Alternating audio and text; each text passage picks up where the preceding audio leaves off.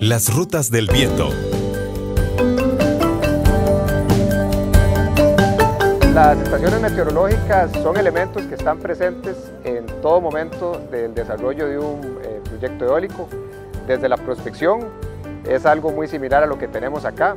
El proceso de construcción eh, también necesita de eh, estaciones meteorológicas, así como ya la etapa de operación y mantenimiento. Nosotros, Energía Eólica Honduras, eh, somos una empresa que trata de obtener los mejores datos de viento, eh, dado que es el, el, recurso más importante que, que, se debe estudiar para un proyecto eólico como este. Nosotros tenemos ocho torres de medición de viento en todo lo que es la zona del proyecto en Cerro de Ula y la parte que corresponde a la montaña de Isopo. Básicamente para desarrollar un proyecto eólico y para conocer el recurso eólico en un emplazamiento, lo primero que se tiene que hacer es instalar torres de medición. En base a esta normativa se puede clasificar el emplazamiento y así poder determinar cuál es la máquina adecuada para ese sitio. Existen zonas que tradicionalmente son altas en recurso eólico. Básicamente buscamos zonas como pasos intermontanos, donde el viento tiende a acelerarse, o colinas que cumplan con la misma condición. La naturaleza misma nos indica cómo está soplando el viento en un lugar, pues los árboles tienden a crecer con cierta inclinación, aunque ciertamente para tener la mayor certeza necesitamos medir con una estación meteorológica también.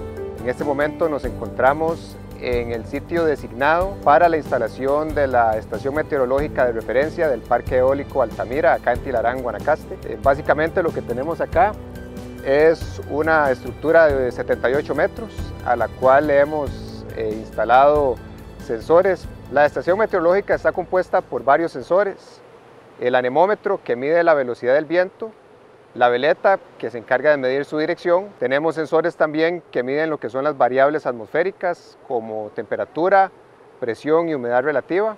Y asimismo en este caso tenemos eh, un sensor para medir el nivel de precipitación que está cayendo en un momento dado en los alrededores de la estación.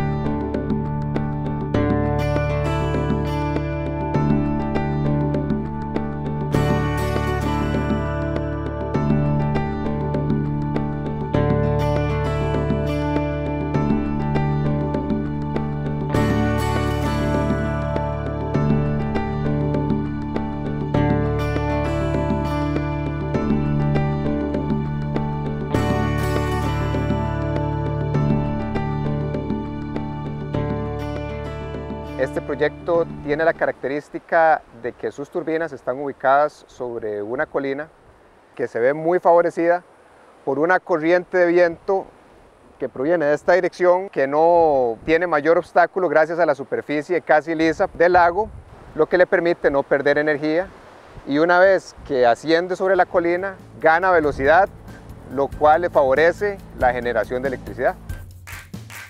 Los proyectos Altamira y Campos Azules en Tilarán, junto a los proyectos Vientos de Miramar y Vientos de la Perla en Quebrada Grande de Liberia, iniciarán operaciones en el 2017 y producirán un total de 80 megawatts de energía limpia.